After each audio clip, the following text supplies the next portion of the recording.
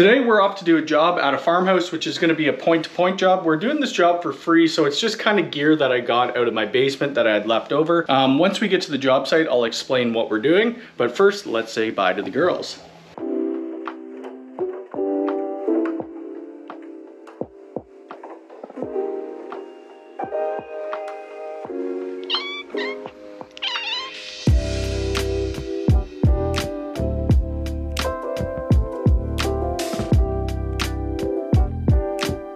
All right, so this is the gear that we're going to be using today, and it is all just some gear that I found downstairs. It's going to be a pretty simple setup.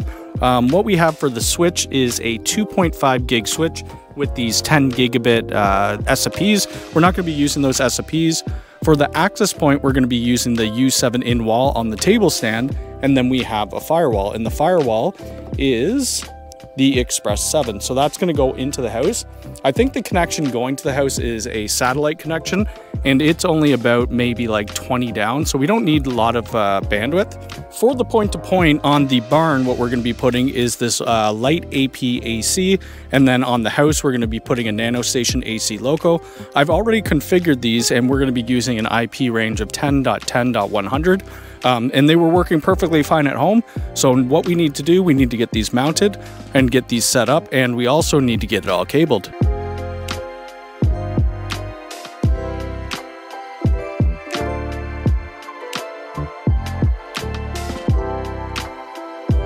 We're by the chicken coop, and this is where one side of the uh, point-to-point -point link's going up. Jay is going to mount this arm on the side, and we should have a direct line of sight. There's really nothing that's going to be blocking us from the main house. Uh, so yeah, let's get that mounted.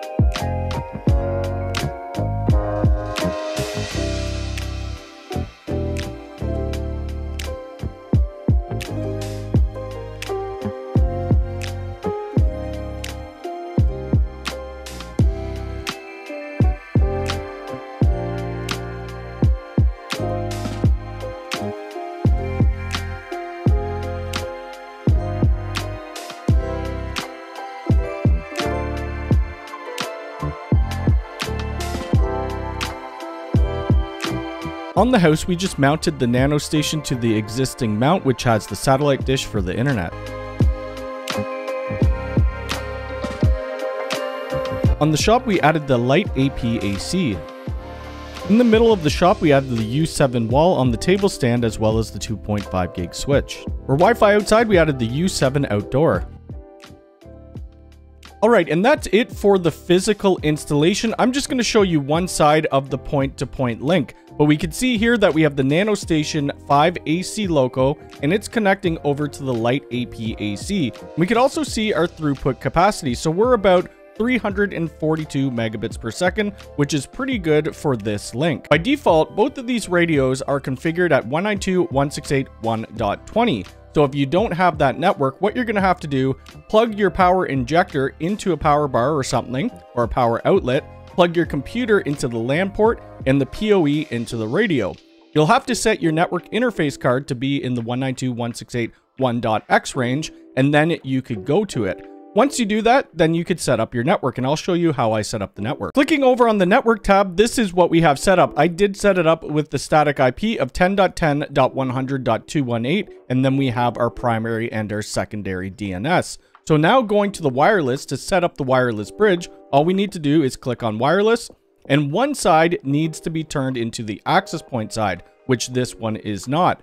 After that, you need to give it an SSID and you have to give it a password. And you need to have that SSID set on both sides. So for the nano station, access point is turned off and then we have this SSID. On the other side, for the AC, we have the same SSID, but access point is turned on. Now going to the equipment, you can see here that we have our Express at the top and then we have our USW Flex 2.5 gig PoE, we have the U7 Outdoor and the U7 Pro wall. One thing that we need to do with the U7 Outdoor is click on it and then go over to settings. From settings, since we put the antennas on, what we need to do, we need to make sure that we're not using the built-in antenna, but we're using the Omni antenna, and then we're to apply those changes. Going to the dashboard, let's do a speed test just to see what we're getting from the Bell satellite. I think it was about 30 down or something like that. And we're getting 29 down by 5 up. For this install, that speed is perfectly fine. The reason for this point-to-point -point link is really just to give a TV Wi-Fi out in the shop so they could watch sports games. There is also another barn that doesn't have power, so that's why we put the outdoor access point.